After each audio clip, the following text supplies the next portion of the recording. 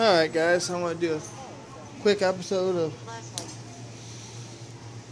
Journey to the Vandalia Claw Machine and I've not played here in a while. I'm just going to play the Ultimate Beanbag Shoppe by Sugarloaf, 25 cents per blend. There's not very many 25 cent machines around anymore. I had this thing while ago and the claw let go of it. So,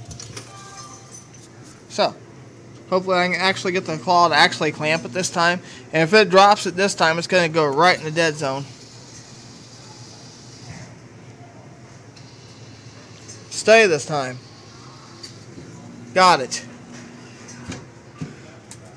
Finally.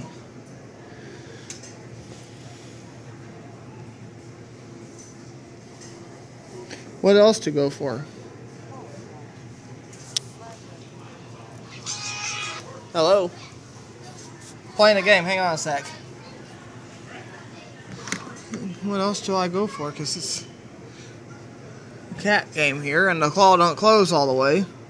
And you go for something that's fairly large. I don't know. If I can get back that orange thing back here or not. No.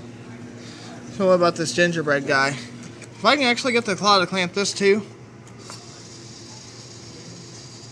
Or not. Just poke it. See what I mean?